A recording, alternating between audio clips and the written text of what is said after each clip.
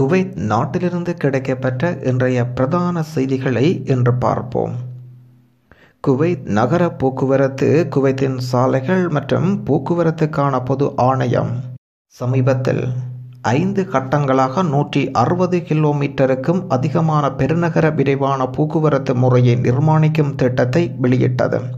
இந்த திட்டத்தில் குவைத் நகரில் மெட்ரோ ரயில் திட்டங்களின் வளர்ச்சி அடங்கும்.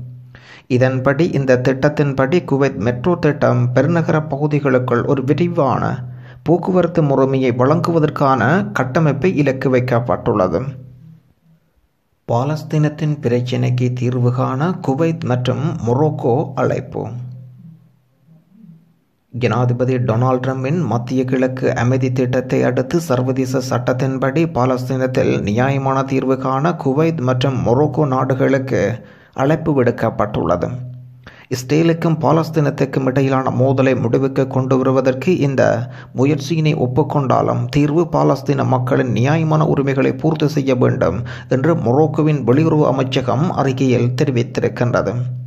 பாலஸ்தீனிய பிரச்சினைகளுக்கு ஒரு நியாயமான மற்றும் விரிவான தீர்வை சர்வதேச சமூகம் வகுத்துள்ள சர்வதேச சட்டபூர்வமான தீர்மானங்கள் மற்றும் குறிப்பு விதிமுறைகளுக்கு இணங்குவதன் மூலம் மட்டுமே தீர்வு காண முடியும் என்று குவைத் வெளியுறவு அமைச்சகம் அறிவித்துள்ளது.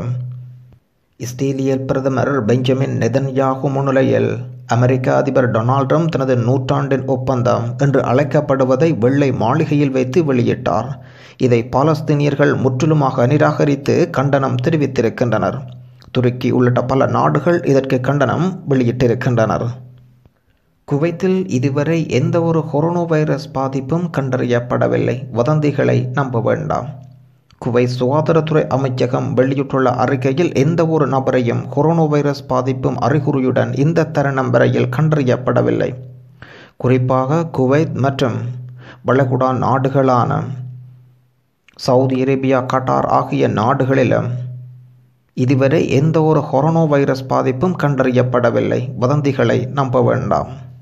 குவைத்தில் நடந்த சாலை விபத்தில் ஆறு குவைத் நாட்டு இளைஞர்கள் மரணமாக்கி இருக்கின்றனர். ஒரு வாகனத்தை முந்த முற்பட்ட சமயம் இந்த விபத்து ஏற்பட்டிருக்கின்றது. சம்பவ இடத்தில் இந்த ஆறு இளைஞர்களும் மரணமாகி இருக்கின்றனர். நம்பர் முன்னூற்றி மூன்று சாலையில் இந்த சம்பவம் நேற்று இரவு இடம்பெற்றுள்ளதாக செய்தியாளர் அறிவித்திருக்கின்றார். மற்றுமொரு துயரமான செய்தியொன்று கிடைக்கப்பட்டுள்ளது சதீஷ் என்ற இளைஞன் மாரடைப்பு ஏற்பட்டு அவருடைய அடுக்குமாடி குடியிருப்பில் மரணமாகி இருக்கின்றார்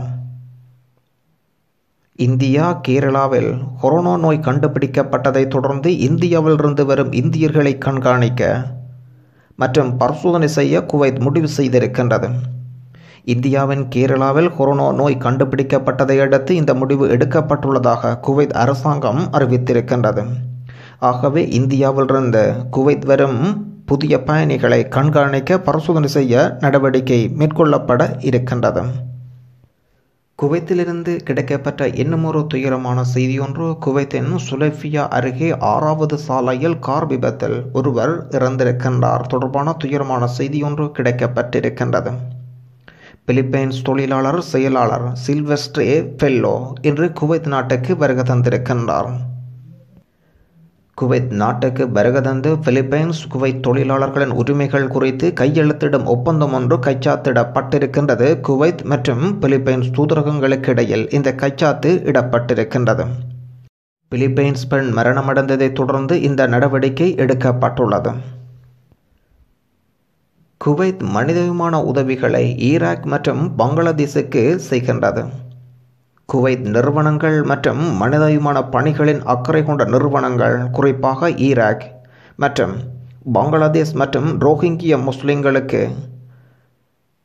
அக்கறை கொண்ட நிறுவனங்கள் குறிப்பாக தேவைப்படுவோர்களுக்கு வறுமையில் நிமித்தம் பாடுவோர்களுக்கு இந்த உதவி வழங்கப்பட்டிருக்கின்றது.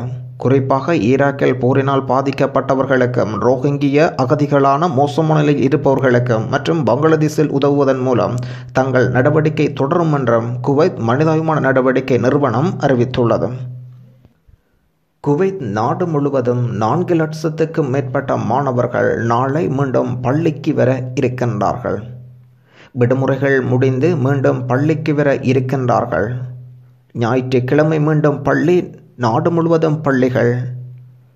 இரண்டாம் தவணைக்கு திறக்கப்பட இருப்பதினால் நாளை. நான்கு லட்சம் மாணவர்களுக்கு மேல் வருகை தர இருக்கின்றார்கள். நீங்கள் கேட்டுக்கொண்டிருப்பது குவைத்தில் இன்று இடம்பெற்ற மிகவும் முக்கியமான செய்தி குறிப்புகளை இன்று பார்த்திருந்தோம். நன்றி. மீண்டும் இன்னுமொரு குவைத் பற்றிய செய்தி பார்வையில் உங்களை சந்திப்போம்.